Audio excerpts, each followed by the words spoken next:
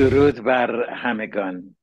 یک روز پس از اینکه نتایج انتخابات ریاست جمهوری ایالات متحده اعلام شد و پرزیدنت ترامپ با اکثریتی بی سابقه این انتخابات رو برد روزنامه وال استریت جورنال نوشت که مردم ایران نه خیلی وعده به دل خودشون ندن چون هدف آقای ترامپ تغییر دادن رژیم در ایران نیست یعنی برانداختن حکومت اسلامی نیستش.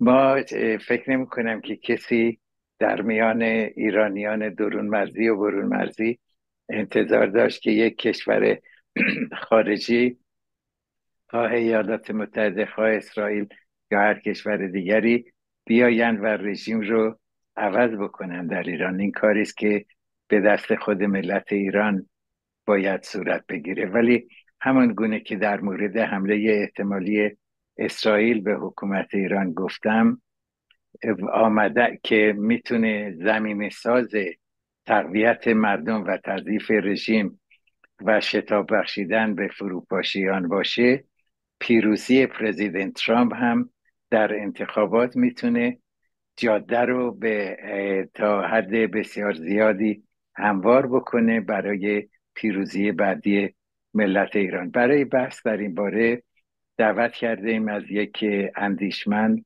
و تحلیلگر اوضاع منطقه و جهان آقای دکتر عرفان قانیفر که بررسی بکنیم با کمک ایشون که پیروزی بی سابقه آقای ترامپ در انتخابات ایالات متحده با توجه به سیاست هایی که ایشون در دوره اول ریاست جمهوریش نسبت به حکومت ایران داشت تا چه حد می‌تونه هموار کننده را برای خیزش آینده مردم ایران باشه؟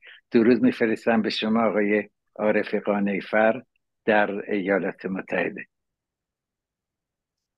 عرض ادب و احترام دارم خدمت شما و همه بینندگان شما در هر کجا که صدا و تصویر ما رو دارن. خیلی خوشحالم که در خدمت شما هستم. در خدمتم که از این زاویه‌ای که شما فرمودید به سوالات پاسخ بدیم یه معرفی خیلی کوتاه از خودتون بفرمایید خواهش می‌کنم. من عرفان قانعی فرد هستم و تحصیلاتم در روابط بین شاخه مطالعات امنیت بوده و در امریکا هم در یک مرکز آموزشی مشغول به کار هست بله. بفرمایید که این وال جورنال یک واقعیتی رو گفته آقای ترامپ در دوره اول ریاست جمهوریش رو هم گفته بود که من قصد تغییر رژیم در ایران رو ندارم. بفرمایید. عرض کنم که اصل خبر فکر می‌کنم منبع اصلیش در Fox News بود. بقیه روز روزنامه ها و رسانه های دیگه نقل قول کردن که به دنبال تغییر رژیم نیست. خب به طور علنی هم ترامپ هیچ وقت نگفته که به دنبال تغییر رژیم هست. چه اون موقع که از برجام خارج شد چه در موقع اعمال تحریم ها و بیشتر به دنبال تغییر رفتار رهبری در جمهوری اسلامی هست. و به طور غیر مستقیم و مستقیم هم از اعتراضات حمایت کرد. مستقیمش با توییت خودش بود به صورت علنی. و غیر مستقیمش افراد داخل کابینش بودند که از جنبش های اعتراضی داخل ایران اومدن حمایت کردن. به خاطر پیچیدگی بین المللی فراوانی که در این راه وجود داره طبعا نباید توقع داشت که کسی مثل ترامپ بیاد و استراتژی مشخص و علنی برای تغییر رژیم داشته باشه.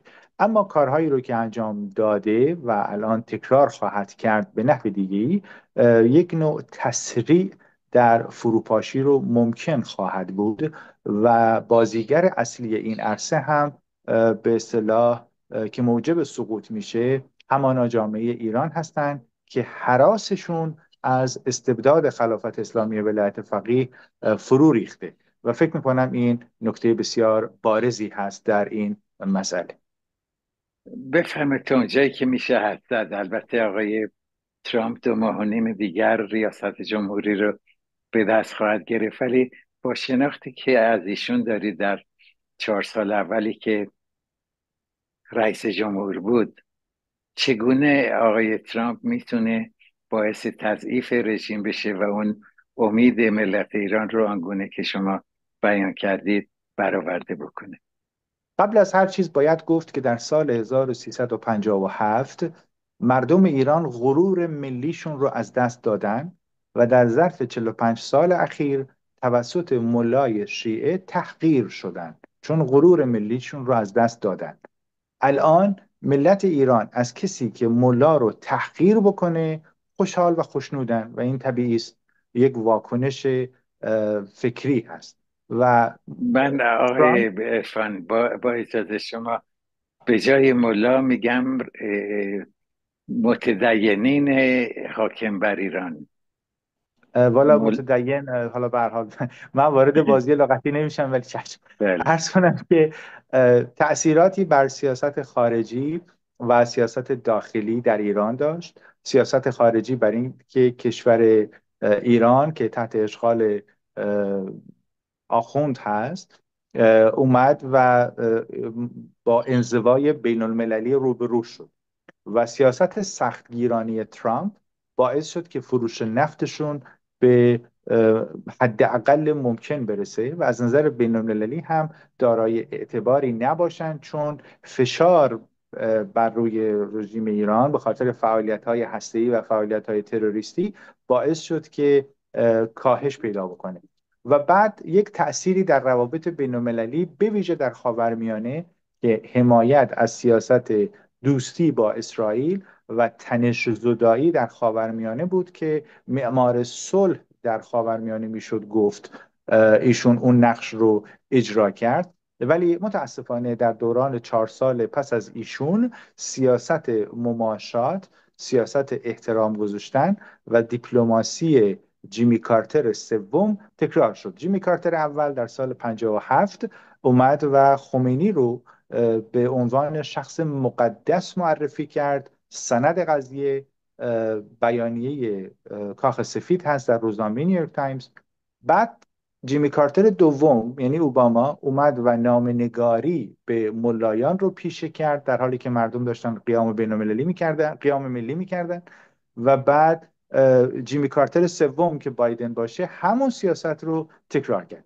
ترامپ طبعا وارد این بازی نمیشه و برای تغییرات مثبت و پایدار تنش زدایی در خاورمیانه دوباره فعال خواهد شد و این باعث یک نوع کابوس برای رژیم ملاها در تهران میشه به خاطر اینی که انقضای سرشتشون تنش آفرینی و جنگ طلبی است. و من فکر نمی کنم چیزی جز این برای ترامپ و جهان داشته باشن که روی میز بذارن ولی طبق قوانین ایالات متحده حکومت و رئیس جمهوری حق ندارن برای تغییر رژیم در یک کشور خارجی اقدامی بکنن. بفرمایید. بله طبق قانون درست هست و نمیشه به صورت استراتژی مشخص و علنی دم از تغییر رژیم زد. این کاملا واقعیت هست ولی در دوران ترامپ بهترین فرصت هست برای ملت ایران که هراسشون از استبداد ریخته هم پیمان و متحد باشن برای نجات ایران و از همه مهمتر اپوزیسیون خارج از کشور هست که در ایالات متحده مشهورترین چهرهش شهریار ایران شاهزاده رضا پهلوی است ولی اپوزیسیون ایران باید به فکر فعالیت لابی تاثیرگذار باشه که در ظرف 45 سال اخیر خیلی ضعیف بود یا اصلا نبود و دو ارتباط با رسانه ها برای رشد آگاهی. دولت ترامپ تنها دولتی است که سال 1350 سال 1953 در ایران رو کودتا ننامید و نخست وزیر مردمی ننامید چون سند تاریخیش موجود نیست. ولی در دوران دموکرات ها بارها و بارها گفتن CIA کودتا کرده. کسی هم نمی‌دونه این کودتا کجا بوده یا اگر انتخابات شده و نخست وزیر مردمی انتخاب شده این انتخابات در چه شهری بوده چه تاریخی و چه صندوق رأی؟ بنابراین من فکر می‌کنم اپوزیسیون ایرانی برای رشد آگاهی در دوران ترامپ باید فعالیت بیشتری داشته باشه همکاری با سازمان های بین المللی رو پیشه بکنه و به جای این بازی هایی که در 45 سال اخیر وقت تلف کردن بود برای ائتلاف و بازی های دیگه بهتره به طور جدی به توسعه برنامه پشتیبانی از جنبش ملی ایران بپردازه در زمان ترامپ. چون در زمان ترامپ دیگه فعالیت لابی جمهوری اسلامی در واشنگتن طبعا نیمه تعطیل خواهد درآمد و امیدوارم که این فرصت طلایی باعث بشه که چه اپوزیسیون میهن پرست خارج از کشور و چه مردم داخل کشور با هم از این فرصت استفاده بکنن و خودشون بتونن تعیین سرنوشت بکنن. همونطور که مردم ایران مردم امریکا ترامپ رو به کاخ سفید برگردوندن مردم ایران هم خودش تصمیم خودش رو بگیره که چه کسی بر اونها به اصطلاح رهبری بکنه. اینجا می‌خوام بپرسم که دقیقا فکر می‌کنید که آقای ترامپ در چهار سال ریاست جمهوریش چگونه رفتار خواهد کرد نسبت به حکومت ایران؟ چه برنامه هایی رو ممکنه داشته باشه؟ چه اقداماتی رو بکنه؟ به عبارت درستتر می‌خوام بپرسم که انتظارات اپوزیسیون از دولت آقای ترامپ چیست؟ بفرمید من فکر می‌کنم از رشته خودم وارد بشم نظر امنیتی ترامپ تأثیری بر رویکرد امریکا در خاورمیانه خواهد داشت. ترامپ به کمک اسرائیل خواهد شتافت در جنگ با تروریسم اسلامی چون اسرائیل در هشت جبهه با گروه های تروریستی وابسته به جمهوری اسلامی در شرایط فعلی در حال جنگ است و ترامپ ترمز راه جنگ با تروریسم نخواهد بود. این بسیار مهمه. و بعد ترامپ آمادگی پاسخ نظامی به بازوهای تروریستی جمهوری اسلامی رو خواهد داشت که این باز نکته بسیار حائز اهمیتی هست.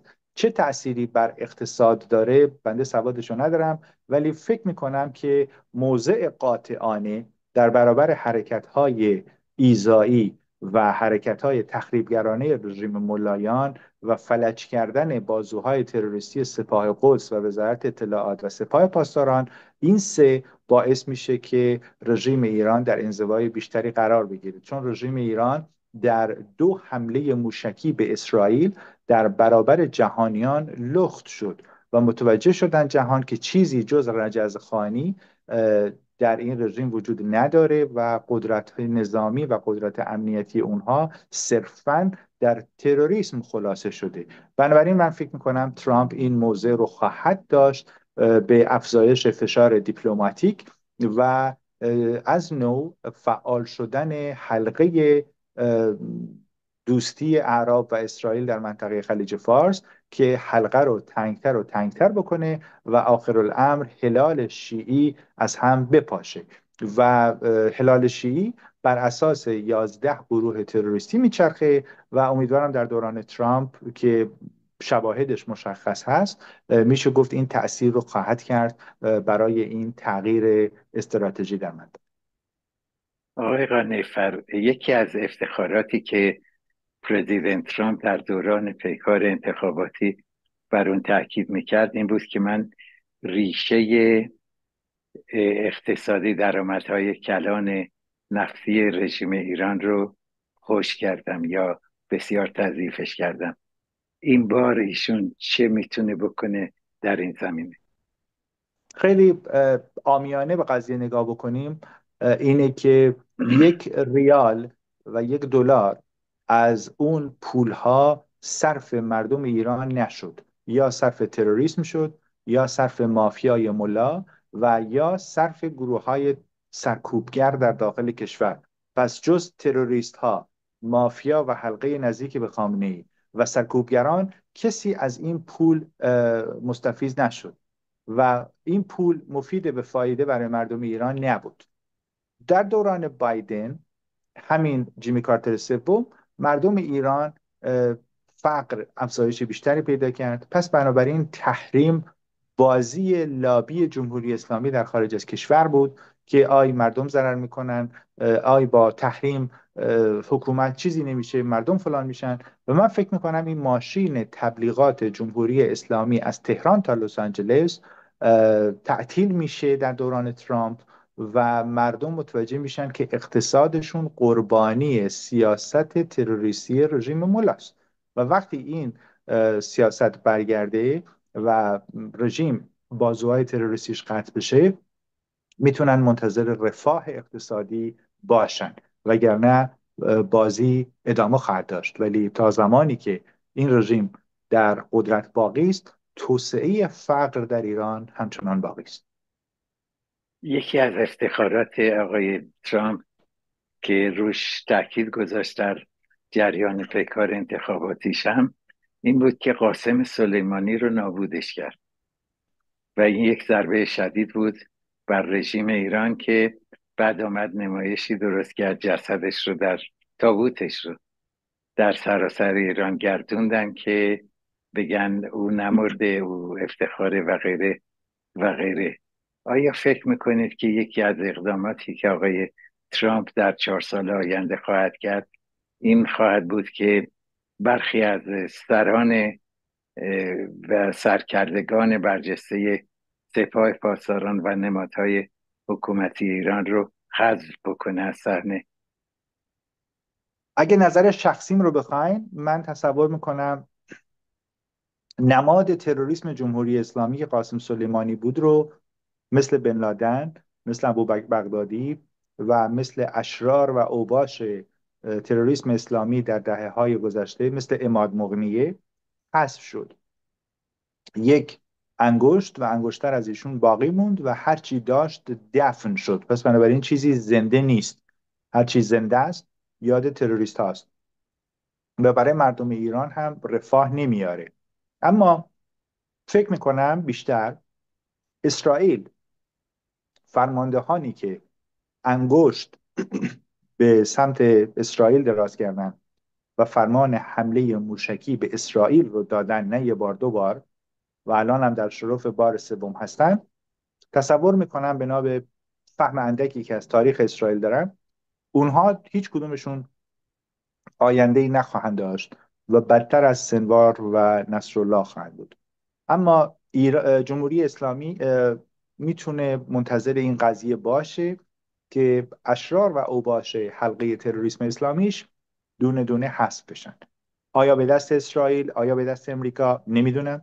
ولی مطمئنم که این همراهی و همکاری باعث حذف چون این چهره های تخریبگری در طی این پروسه خواهد بود.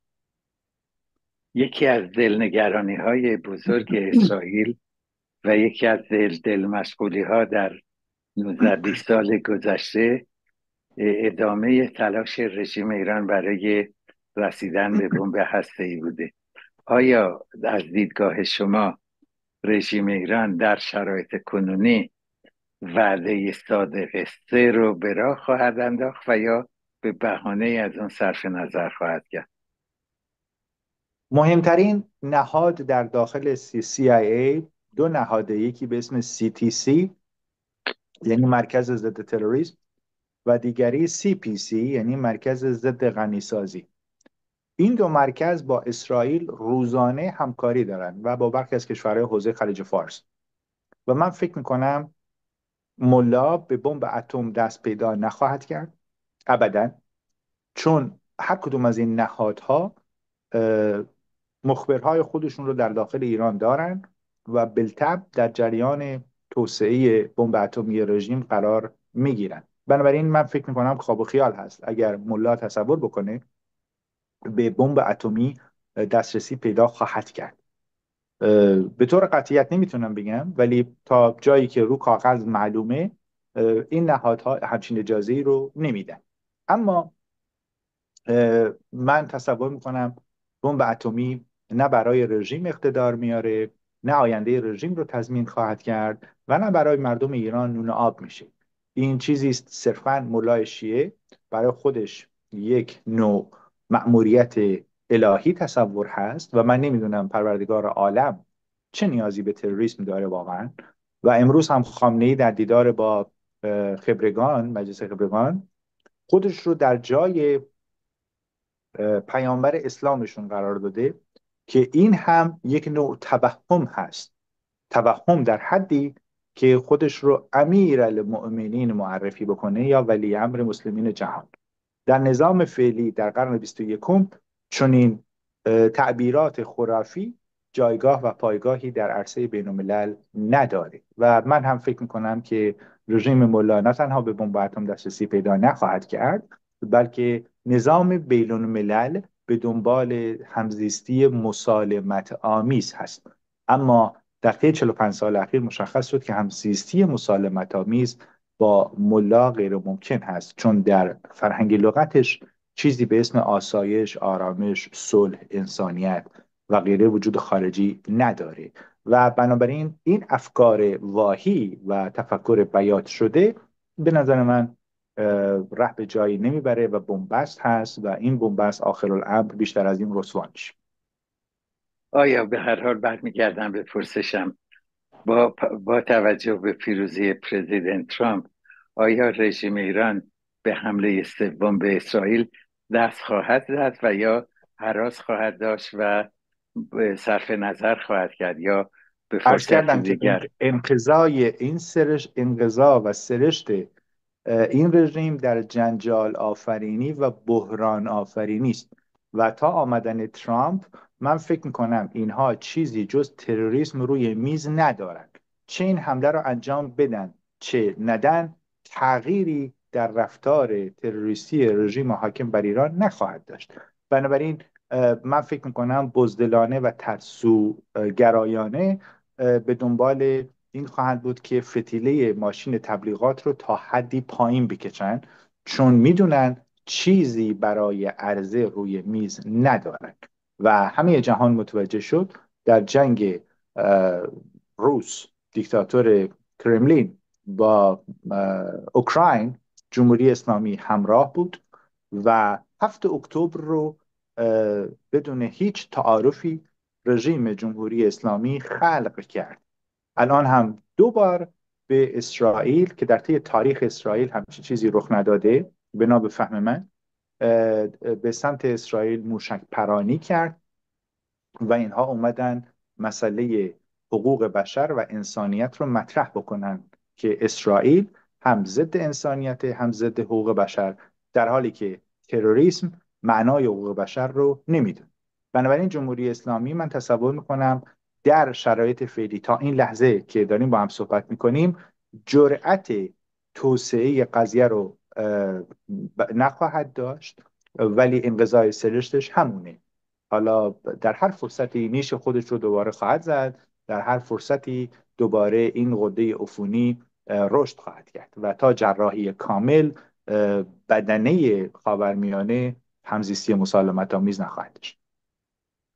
اگر ترجمه کنم سخنان شما رو بر این باور هستید که در حال حاضر رژیم به حمله سوم به اسرائیل دست نخواهد زد. ولی در آینده اگر فرصت مناسبی براش پیش بیاد این کار رو خواهد کرد. بله؟ به نظرم این انقضای سرشتشه و واقعا این کار رو خواهد کرد. بله.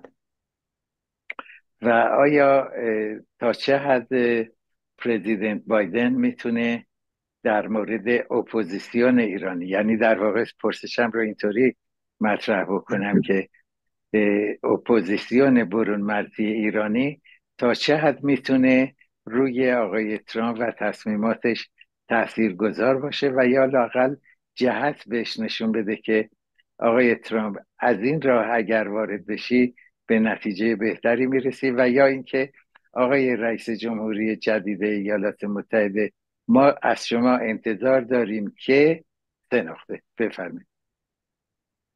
اجازه بفرمایید من آدم بسیار صریح و رکی هستم. تعارف تو ذاتم نیست. نه تو زندگی شخصیم نه تو زندگی تحلیلیم. ولی بی تعارف یک نفر یک چهره اپوزیسیون در شرایط فعلی در داخل ایران دارای اعتبار و دارای شخصیت سیاسی است. که اگه عکسش رو روی یک کاغذی فتوکپی بکنیم پرینت بکنیم به هر دهاتی از زاهدان تا اردبیل از مشهد تا اهواز ببریم نشون بدیم همه بلافاصله می‌شناسن و اونم شهریار ایران شاهزاد است در شرایط فعلی همون یک نفر تبریک برای ترامپ نوشت نه اینی بله. که نوکری اجنبی بشه و از اجنبی خواهش بکنیم بیاد در کشور ما برای ما تغییر رژیم رخ بده و ما مثل ملت فلج و مثل ملت خاجه فقط نگاه بکنیم و اجنبی هرچی گفت بگیم چشم. نه. شهریار ایران تبریک گفت که ایشون بیاد اقدام بین خودش رو انجام بده ولی باز مردم ایران تعیین کننده نهایی باشن برای سرنوشت خودشون. حالا یا ملت ایران این سرنوشت براشون اهمیت داره یا نداره. اگر اهمیت داره خودشون باید تعیین کننده باشن نه اجنبی. و ولی من فکر می‌کنم در پاسخ به پرسش حضرت علی شش نکته اگر اپوزیسیون ایرانی رعایت بکنه پیروزه و اگر رعایت نکنه همین بازی ویرانگر ادامه خواهد داشت. اول فعالیت لابی مؤثر و باسواد. دوم ارتباط با رسانه های جهانی برای رشد آگاهی. که خیلی مهم هست. سوم همکاری با سازمان های بین المللی چهارم یک نوع چهره اپوزیسیون قابل قبول در داخل ملت ایران و قابل عرضه در عرصه بین المللی پنجم برنامه پشتیبانی برای فعالیت های سیاسی مؤثر. نه شام و نهار خوردن نه جلوی دوربین بالا و پایین پریدن. نه امید واهی و فقر فروشی بی سبب و علت. ششم تحقیقات درباره ایران. اگر اپوزیسیون در خارج از کشور این شش عامل و شش فاکتور رو رعایت کرد حرفی برای ترامپ خواهد داشت.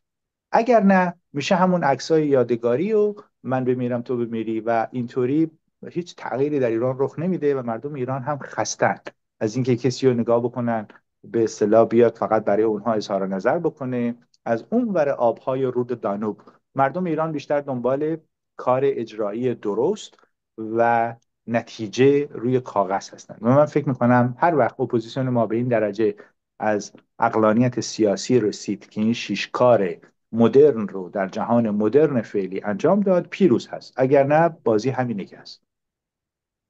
بله می‌دونم که پیش بینی کردن کار محالی است تقریبا. ولی آیا تصور می‌کنید که اگر افرادی فعال باشن و از پرزیدنت به ترامپ بخواهند که دیداری با شاهزاده داشته باشه آیا فکر می‌کنید که این دیدار می‌تونه عملی بشه؟ این خیلی مهمه اگر انجام بشه.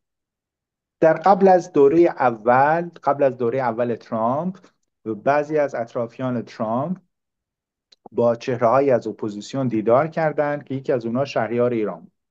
اما عکس گرفتن و دست دادن و کاخ سفید رفتن و اینا برای رسانه خوبه برای عکاسی خوبه. ولی ترامپ یک شخصیت از اون طرف سنا هست از اون طرف مجلس امریکا هست از اون طرف نهادهای امنیتی هست و این شخص در اون دایره چهره اول هست ولی چهره تصمیم گیر نهایی نیست. بازیگر نهایی نیست. شهریار ایران هم هنرپیشه تئاتر نیست که بره عکس بگیره با آقای ترامپ مثلا بگه ما خیلی حرفای خوب زدیم پشت درهای بسته به توافق رسیدیم. نه به نظر من بهتر اینه که علاقمندان به آینده ایران بیان به طور مؤثر سیاست مؤثر در دیپلماسی امریکا داشته باشن که ترامپ یکی از اون بازیگران هست. و امیدوارم که خرد جمعی برای نجات ایران این باشه. نه عکس یادگاری. خیلی ها بودن رفتن عکس یادگاری بگیرن با فلان نخست وزیر فلان رئیس جمهور. خب چی شد؟ این عکس یادگاری به چه دلیل خود من فکر می‌کنم عمیقتر باید به قضیه نگاه کرد. آقای قانیفر ولی وقتی که رئیس جمهوری با یک شخصیتی دیدار می‌کنه با هم گفتگو می‌کنن این چراغ سبز نشون میده به همه نهادهای حکومتی در ایالات متحده که ایشون رو بپذیرن باهاش گفتگو کنن هماهنگی ایجاد بکنن و تحریزی بکنن. قبول ندارین اینو؟ اجازه بفرمایید بنا به رشته تحصیلیم خیر. اول باید به طور مؤثر در سیاست های پیرامون یک کشور تاثیر گذاشت. از نظر رسانه‌ای تفکر آینده نگری برای اون ایران بعد از دوران گذار و فروپاشی روشن باشه در جایی مثل سنا در CIA در جایی مثل کمیته روابط بین الملل امریکا در جایی مثل مجلس امریکا. اینها تجزیه و تحلیل بشه دارای دوستان و همراهان و همکارانی باشه حتی در وزارت خارجه. و بعد برای عکس یادگاری همیشه وقت هست. اون موقع با رئیس جمهور آدم بیاد عکس بگیره. ولی الان هنوز اون کار انجام نشده هنوز هیچ مراحلی طی نشده این عکس یادگاری هیچ تأثیری نداره. و حالا شما میفرمایید نخیر از اونجا از مرحله آخر بیایم به اول. باشه من احترام دارم برای رأی شما ولی اگه از نظر راه سیاسی می‌خواین من چون شخصا عراق رو دیدم و لیبی رو دیدم راه بهتره که به صورت عملی از ابتدا شروع بشه تا می‌رسه به مرحله نهایی. خب من بر اساس پاسخ شما می‌پرسم که چهل و پنج سال میگذره. چرا در این چهل و پنج سال این طرحی که شما الان عرضه می‌کنید عملی نشده و کسی برای انجامش تلاش لازم رو به عمل نیاورده. فکر ایرانی جامعه ایرانی. تفکر ایرانی کلا دوست نداره کسی رو قد بلندتر از خودش ببینه. فراموش نکنیم ما در جامعه ایران زندگی می‌کنیم. در جامعه ایران کسی مثل نادرشاه اون همه کمک رو به مردم ایران کرد. آخرش یک ایرانی با چاقو رفت تو چادرش و ایشون رو کشت. اسم اون چاقوزن هم شاید خیلی اصلا بلد نباشن ولی همیشه در طی تاریخ ایران این مسئله هست کسی که خادم هست در واقع منزوی است. و این فرهنگ رو هم بنده یکی شخصا نمی‌تونم تغییر بدم ولی از من سوال شد که آیا درباره امریکا چه راهی بریم موفقیت آمیزه؟ من گفتم به جای عکس یادگاری بهتره کار مؤثر بشه. در فرهنگ ایرانی کار مؤثر کردن و بی سر و صدا کردن یه خود غریبه. و من فکر می‌کنم تا این فرهنگ تصیح نشه رو بازی همینه. و برخی افراد دوست دارن خامنه ای در قدرت بمونه ولی نام پهلوی مطرح نشه. برخی افراد دارای بیماری هستند و تصورشون بر اینه که نه ما همین حکومتی که هست رو یه خود اصلاح بکنیم. مثلا رنگ بکنیم بتونه بزنیم و پشت شیشه بلوری بذاریم. این خیلی خوشگل میشه. در حالی که من نمی‌فهمم مثلا یه رژیم تروریستی رو شما چجوری می‌خواین تصیب بکنید؟ مثلا وزیر اطلاعات کابینه اصلاحات با وزیر اطلاعات کابینه اصولگرا چه فرقی با هم دارن؟ مثلا فرمانده سپاه سلامی برادرش فرمانده ارتش هست. چه فرقی هست؟ یا برخی از همین افراد همین رسانه ها میان میگن بدنه سپاه با ماست بدنه بسیج با ماست بدنه ارتش با ماست. هر ستا یکی از یکی جانیتر یکی از یکی جنایتکارتر. الان در حمله به اسرائیل در وعده صادق سه کی گفت عملیات رو انجام میدم؟ ارتش. خب این خامبینی است. این عدم بلوغ فکری سیاسی است. شما وقتی می‌خواین در امریکا حرف بزنید که امریکا شما همراه باشه و دوست باشه عکس یادگاری به چه دردی می‌خوره؟ حالا گروه های سیاسی با هم رقابت می‌گیرن که من برم با نخست وزیر آلمان مثلا عکس بگیرم. حالا عکس هم گرفتیم. خب بعد این عکس رو کجا بذارم؟ این عکس به چه درد مردم ایران می‌خوره؟ حالا بیام فخر فروشی بکنم و امید فروشی بکنم. حالا فخر فروشی خیلی گناه نداره ولی واقعا امید فروشی جنایت در حق ملت ایران هست که ما امید واهی بفروشیم. و من فکر می‌کنم سیاست مدار عاقل دنبال این باید باشه که تأثیر و گذار باشه این 45 سال هم من فکر می‌کنم به خاطر فرهنگ سیاسی ایرانی بود که این فرهنگ سیاسی فرهنگ سالمی نیست و امیدوارم این فرهنگ تصیح بشه که مردم بتونن راه خودشون رو پیدا بکنن. شما به شدت دارید از اپوزیسیون ایراد می‌گیرید. می‌گویید که اونها همکاری و همیاری بلد نیستن. هر کی ساز خودش رو می‌زنه و نمی‌تونن دست اتحاد و اتفاق به هم بدن. همینه. خیر بنده مخلص همه هستم. آرزوی موفقیت برای همه می‌کنم. ولی گفتن راه چیه؟ گفتم راه از پشت این کوه ببرید به رودخونه می‌رسید. حالا بعضیا دوست دارن بگن نخیر رودخونه بالای کوه خب باشه من مزاحم نمیشم. بالای کوه رودخونه است. خب تشریف ببرید. اگه سراب بود من مقصر نیستم. ولی راه رو پرسیدید به عقل ناقص من راه اینه که ما بله. اول بیایم اینو بریم موفق میشیم. بنده نه به کسی ایرادی گرفتن. من گفتم این فرهنگ باید تصیح بشه که بشه عملگرا. اگر هم بخوایم خواب و خیال بفروشیم خب بفروشیم. من, من مزاحم کسی نمیشم. ولی فکر می‌کنم عملگرا باشیم بهتر است. بله ببینید لابیگری در ایالات متحده یک تلاش قانونیه. لابی های مختلف وجود دارن. لابی اسلحه هست لابی مواد مخدر هست لابی, لابی سخت جنین هست لابی مکزیک هست لابی اسرائیل هست و غیره و غیره. چگونه است که در این چهل و پنج سال ما نتونستیم یک لابی ایرانیان وطن پرست رو ایجاد بکنیم؟ البته لابی نایاک هست قبول دارم.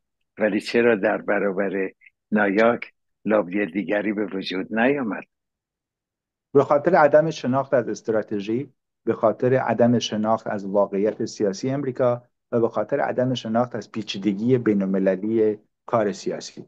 و من فکر می‌کنم نسل جدید همراه و علاقمند و وطن پرست باید این مشکل رو حل بکنن. و مثلا باب مثال یک نکته رو بگم. وقتی شهریار ایران به اسرائیل تشریف بردن خود شما شاید بدونید که در اورشلیم پست تنها کسی بودم که اومدم از سفر شهریار ایران دفاع کردم که برخلاف اپوزیسیون ایرانی که همراه فلسطین هست فلسطین نه به معنای مردم بلکه به معنای گروه های تروریستی وابسته به یاسر عرفات. شهریار ایران تنهاست. این سرمقاله منه در اورشلیم پست. وقتی که روسیه به اوکراین حمله کرد دوباره من در National News اسرائیل و اسرائیل هیوم یه تحلیل نوشتم که اپوزیسیون ایرانی از روس نقد نمی‌کنه چون تفکر کمونیستی داره.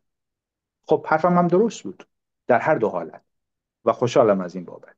بهتره که ما شناخت عمیق موضوعی داشته باشیم ولی متاسفانه در عالم سیاست در ایران فرد مورد تهمت قرار می‌گیره. مثلا شما در نظر بگیرید برای رأیگیری هریس و رأیگیری ترامپ. خب برخی از ایرانیان علاقه من به هریس بودن. ممکنه وطن پرستم باشه. برخی از ایرانیان معتقده به ترامپ بودن و ممکنه اونا هم وطن پرست باشن. بعد با هم رفتن در رأیگیری شرکت کرد. فرد ارزش نداره. نتیجه کار مهم هست که ترامپ برنده شد. تموم. ولی آیا در ایران بعد از فروپاشی آمادگی ذهنی آمادگی اقلانی آمادگی فکری تغییر داریم؟ این سوال بسیار مهمی است بسیاری از افراد جامعه ایران فکر می‌کنن که اگر این رژیم بریزه پایین اعتقادات اسلامی سنتیشون هم میریزه پایین. خب من با این چیکار کنم؟ برخی از افراد فکر می‌کنن که اگر این رژیم باشه ایران هست. اگر این رژیم نباشه ایران نیست. خب اینجا باید چیکار کرد؟ همون لابی که من ارز کردم کارشون ترویج رشد آگاهی باشه اینجا ضروری است. ولی متاسفانه ما نداریم. و این نکته بسیار حائز اهمیت همونطور که گفتم اون رودخونه پشت کوهه. بالای کوه شما خیلی سخت می‌تونید گیر بیارید. من فکر می‌کنم در تایید فرمایش شما ما به نتیجه ببینیم و راه رو درست ببینیم و باور داشته باشیم موفق تریم تا اینکه بیایم طرحهای خیالی بزنیم و متاسفانه بسیاری از افراد اپوزیسیون در دوران مرگ خمینی همین خیال فروشی رو کردن که همین الان در دوران جانشینی خامنه ای خیال فروشی می‌کنن. و خلافت اسلامی به دنبال خلیفه سوم هست. اپوزیسیون برخیاش از نسل قبلی تصورشون بر این هست که با مرگ فرد فکر هم از بین میره. من نگاه همینطوری نیست. من فکر می‌کنم هرچه واقع گرایانه تر باشه قضیه موفق تر خواهیم آقای عرفان قانعی فرد سپاسگزارم که میهمان ما بودید و به پرسش های ما پاسخ گفتید تشکر. آینده ایران سپاسگزارم